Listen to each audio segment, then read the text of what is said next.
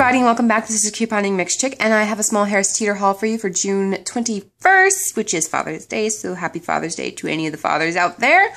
Um, very small haul, just ran in before church, got a few items. Now, I did not pick up the milk, which is a really good deal this week.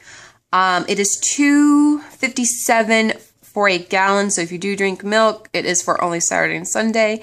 Um, if you got the EVIC, then EVIC price, then that's a great deal. $2.57 for a gallon of milk in my area is extremely good. So just wanted to throw that out there, but really quick to get into it. For $1.50 each or two for $3. This is the 8 ounces. There is a 50 cents off of any one 8 ounce pure silk shave cream. Now this is expired June 27th, which will double making this 50 cents for shaving cream. Coupon is from the Red Plum 5-3. Now, I think I then on to the Lipton Tea. Um, this is buy one, get one free at Harris Teeter. Regular price is $2.99, so it's going to ring up $1.50 on the buy one, get one. And there is a 75 cents off of one Lipton Tea coupon from today's insert. Not sure if it's the Red Plum or Smart Source. I'll put on the screen, making that absolutely free. Then I picked up two of, I'm sorry, three of the Fixodent Original, the 1.4 fluid ounces. These are the only, this is the only size um, and flavor that I saw was the original for $2. They are on clearance at my Harris Teeter. In the 531 P&G, there is a 75 cents off of one Fixodent adhesive, 1.4 ounces or larger.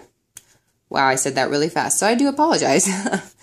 um, which will double, making those 50 cents each. I got the, I got those for an extended family member. They use those, and that's a really, really great price because if I had not uh, used any coupons and these had not been on clearance, that is $14 worth of Fixodent right there.